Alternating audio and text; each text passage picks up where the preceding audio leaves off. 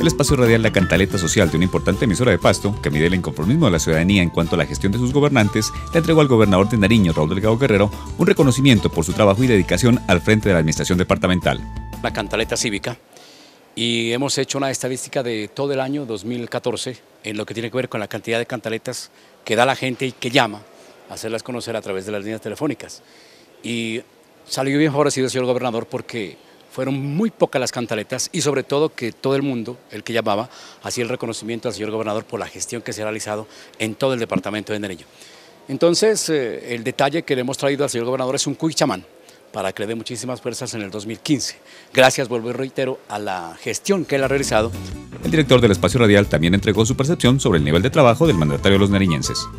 Todo el mundo lo conoce, todo el mundo lo sabe, que en el, a nivel del trabajo el señor gobernador se ha ganado todas las consideraciones del mundo, los homenajes en general, porque él trabaja muchísimo y todo el mundo sabe que es así, trabaja,